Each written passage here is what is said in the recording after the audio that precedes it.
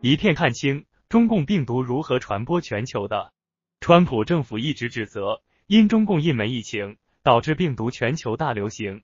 他曰，他们中共不允许人们前往中国，但他们却允许人们从中国前往全球，包括美国。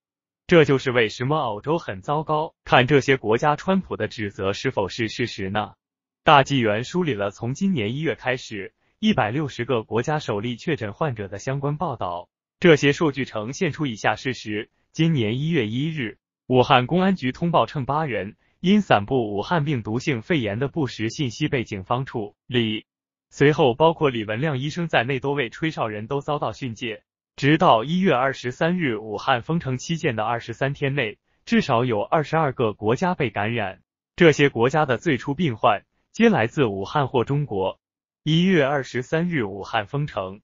二零二零年一月三十日，世卫组织宣布疫情构成国际公共卫生突发事件，但不建议采取任何旅行或贸易限制措施。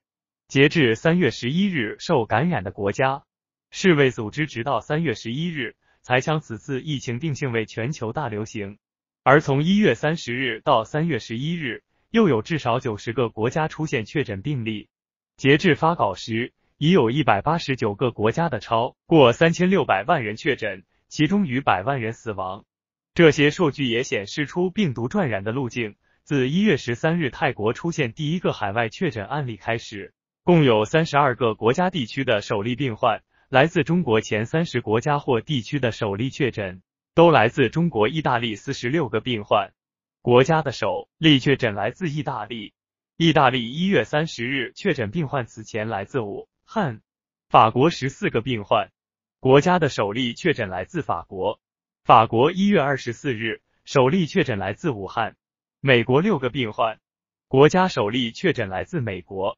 美国一月二十一日。首例确诊来自武汉，伊朗十六个病患，国家的首例确诊来自伊朗。伊朗二月十九日公布首例确诊是前往中国的商人。西班牙七个病患，国家的首例确诊来自西班牙。西班牙一月三十一日首例病患来自中国。中共病毒传播全球确诊实践图表。